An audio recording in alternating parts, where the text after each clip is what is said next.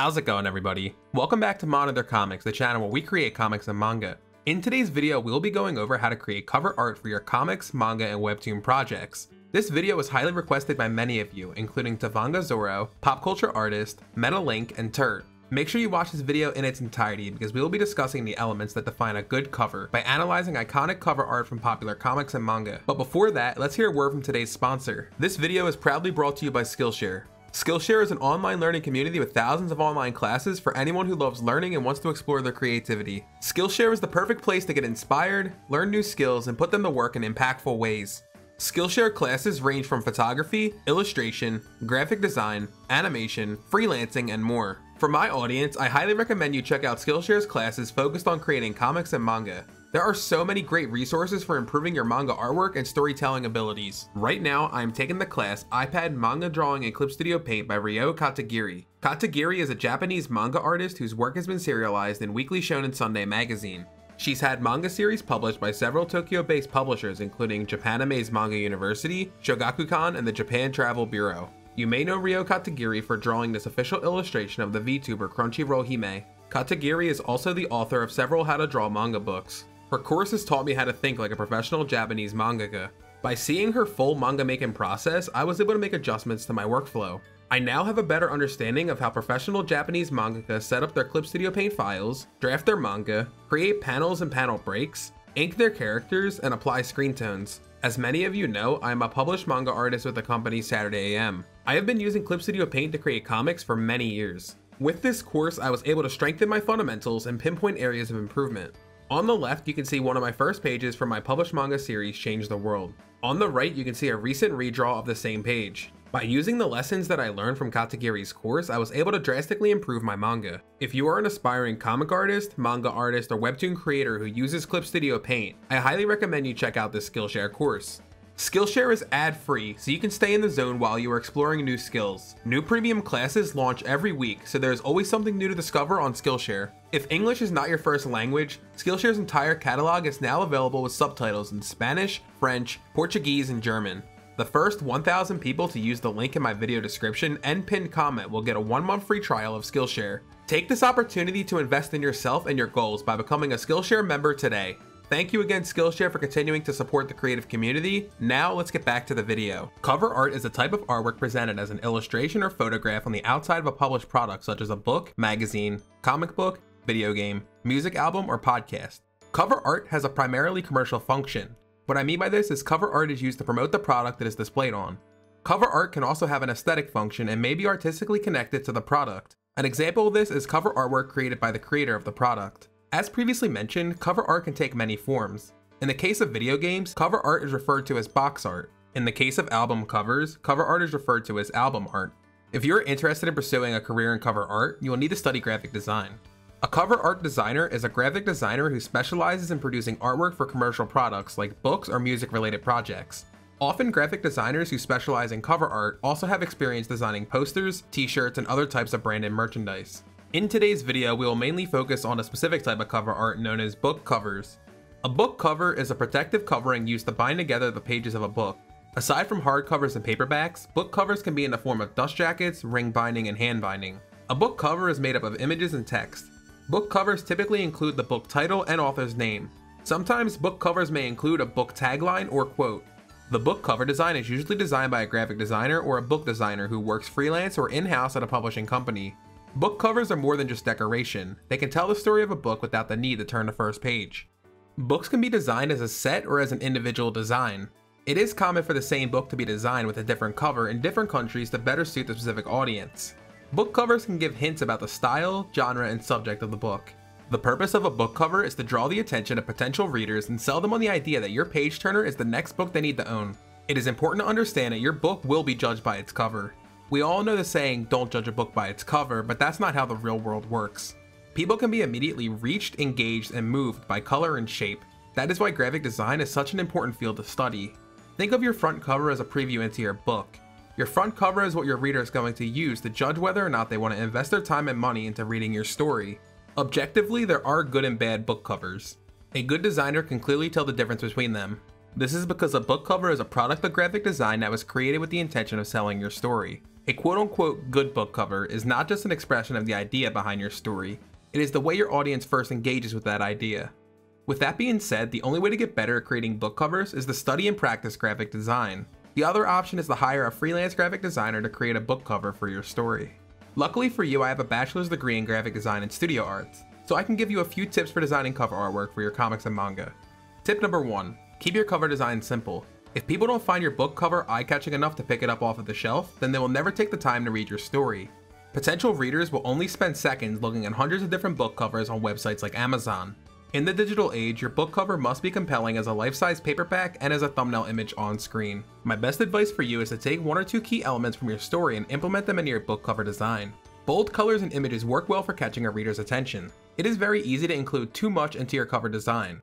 While this design may work for you, it may appear too busy or convoluted for a potential reader. Think of a book cover like Shonen Jump's manga series Bleach.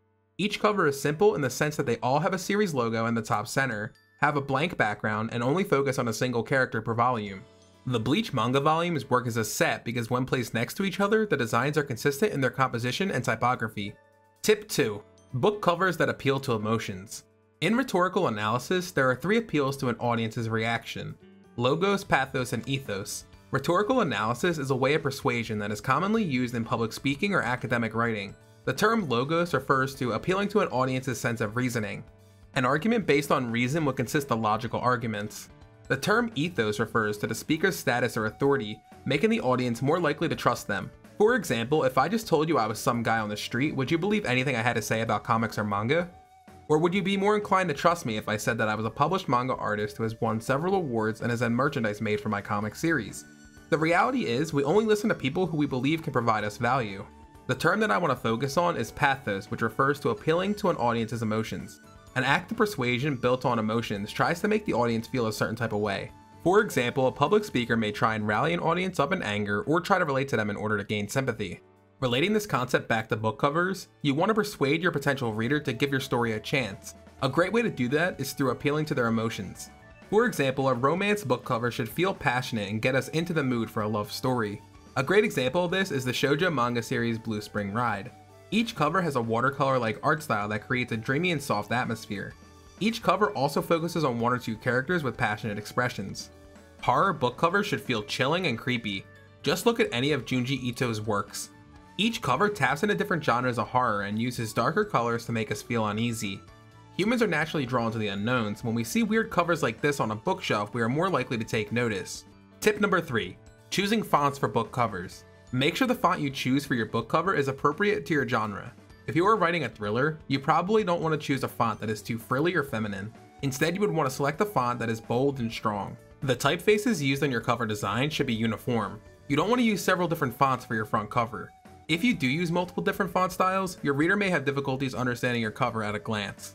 Typography is its own field of study within graphic design, so I won't talk about it too much in this video. There are many tricks professional designers do with fonts like adjusting the horizontal spacing between the letters and vertical spacing between the lines. For more information about different fonts and what emotions they convey, please check out my What Font Should I Use in Comics and Manga video after you are finished watching this one. An example of a manga series with consistent font styles is the Death Note manga covers. The series logo is always in the top center of every cover. The volume number, author information, and publisher information is always in the bottom center of every cover. What's also great about the Death Note manga covers is their composition. Each volume cover focuses on one or two characters and perfectly captures their personality and emotion at the time of the story. Each volume cover is framed by a cross shape and decorative text fills the left and right sides of the covers. Tip number 4. Book covers with strong compositions. As previously mentioned, cover design is an art. Composition is one of the most fundamental skills required of anyone working with visuals. The term composition means putting together. It can be thought of as the organization of the elements of art according to the principles of art. As a refresher, the principles of art refers to balance, emphasis, movement, proportion, rhythm, unity, and variety. Some guidelines for creating a strong composition include Use the rule of thirds to create a focal point for your book cover. The rule of thirds dictates that if you divide any composition into thirds, vertically and horizontally, and then place the key elements of your image along these lines or at the junctions of them, the arrangement achieved will be more interesting, pleasing to look at, and dynamic. An example of a book cover that makes use of the rule of thirds is the Shonen Jump series To Love Ru. If we divide some of these cover designs into thirds, we can see a clear area of interest in the junctions of these lines. Use symmetry to create a balanced book cover. Symmetry is a very formal type of balance consisting of mirroring the proportions of an image. Bilateral symmetry, also known as two-sided symmetry, is the most common form of symmetry used, where two halves of the artwork mirror each other. An example of a book cover that makes use of symmetry is the manga series Toilet Bound Hanako-kun. It is very rare to find a cover design that is 100% symmetrical, so most cover artists tend to create organizational symmetry. In the case of Toilet Bound Hanako-kun, we can see mirroring characters and mirroring elements in some of these volume covers. Use textures and patterns to add non-distracting details. Textures refer to a perceived surface quality of a work of art. An example of a book cover that makes use of textures and patterns is the Shonen Jump manga series Dr. Stone. Many of the Dr. Stone volume covers showcase environmental bodies such as clouds, trees, and rocks. These elements are rendered in such detail that we can visually perceive how they would feel in real life. Use high and low angles to create dynamism. Dynamism is a term that is often tied to the Italian futurist movement. Dynamism is a concept that suggests movement and energy. Figurative art makes use of morphing, receding, and emerging forms. By drawing a cover from bird's eye view or ant's eye view, you create visual interest that is eye-catching. An example of a manga series that does this well is the Shonen Jump title The Promised Neverland. In many of these volume covers, we can see the characters from above and below. By placing the camera in a dynamic angle, the artist allows us to see the characters and setting in a new light. If we take a look at volume 2 of The Promised Neverland, we can see a fisheye lens effect applied to the background, creating a unique perspective on this mundane scene of the characters looking through a library. Finally, tip number 5. Research successful book covers. This final tip may seem obvious, but it is easily overlooked. Don't let this one video be your only resource. Take the time to look at the best-selling covers in your genre in order to find what types of covers other authors are using. Go to Amazon Books and search for books in a similar genre to the story you are writing. Once you spend some time analyzing other book covers, you will realize how repetitive they are. Most book covers make use of the same compositional techniques because designers know that they work. Don't feel bad about taking inspiration from your favorite books. Great designs don't magically appear out of thin air. They come from heavy research and inspiration. Hopefully you now have a better understanding of cover design in comics and manga. If you enjoyed this video, please leave this video a like and subscribe to my channel if you haven't already. Did you that 70% of my viewers are not subscribed? Drop a comment down below telling us about your favorite manga cover. Remember, you can support me on all of my social media accounts by using the links down in my description below. I also recently opened a Patreon account where you have the ability to watch my YouTube videos early and see behind the scenes content related to my published Saturday AM manga series.